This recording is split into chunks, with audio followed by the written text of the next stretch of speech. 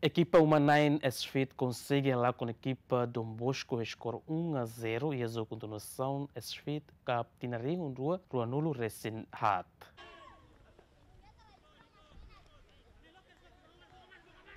Jogo continuação Speed Cup Tinari Rua Rua Nulu Racing Hat equipa Umanain Speed. Halau jogo contra a equipa Dom Bosco nebe halau ia campo futebol Fato Metadili segunda-feira ne jogo foi Hahu jogador Rusi equipa Rua turno estratégia fura kuri halau contra-ataque malu. Jogo na fatin lau tensi nebe as jogador Rusi equipa Rua ambição bote be sakarak menan ia jogo ne nune la ri tamava minuto balun equipa Umanain Speed. La kohilakon oportunidade hori domina li jogo no consegue marcar kedas golu ida equipa Don Bosco Neredi. Orimura scorsa Iva 1-0.